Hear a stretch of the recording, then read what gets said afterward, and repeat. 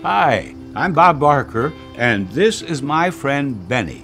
Now, we have a little favor to ask of you. Before you buy any cosmetics, personal care, or household products, please be sure that it has not been tested on animals.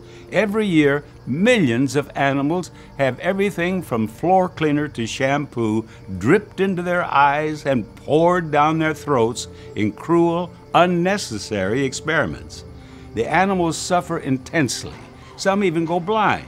The price is never right on products tested on animals.